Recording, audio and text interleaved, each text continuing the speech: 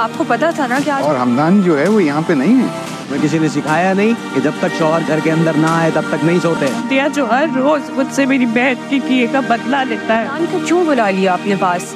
आप लोगों ने तो मुझे एक ऐसे जानवर शानजे के वालिद फैसला कर लेंगे कि वो जल्द अज जल्द शानजे और हमदान की शादी कर देंगे। इसीलिए एक हफ़्ते बाद जैसे ही वो मंगनी की तारीख तय करेंगे, शानजे हमदान को लेकर शॉपिंग पर चली जाएगी।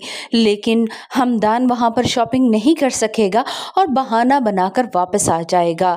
वापस घर आकर वो ऐना के साथ कुकिंग करना शुरू कर देगा। यहीं पर ऐना का हाथ जलने पर वो बहुत फिक्रमंद हो जाएगा। तो दूसरी तरफ़ शान से इस बात से परेशान होगी कि आखिर ऐसी कौन सी मीटिंग थी जो उनकी मंगनी से भी ज़्यादा अहम थी। जब वो अपने बाप से इस सिलसिले में बात करेगी कि उन्हें मालूम भी था कि हमदान और उसका एक शॉपिंग का प्लान है तो फिर उन्होंने ये मीटिंग क्यों की और हमदान को क्यों बुलाया?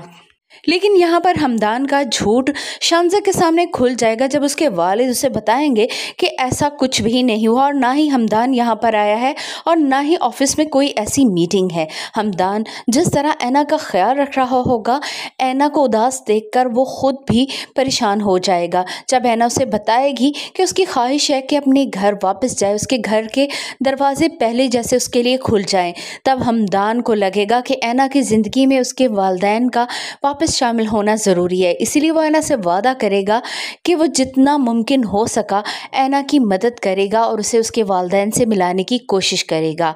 आयमा की वालदा जब आयमा से मिलने के लिए उसके घर पर आएँगी तो आयमा की हालत देखकर वो बहुत परेशान हो जाएँगी।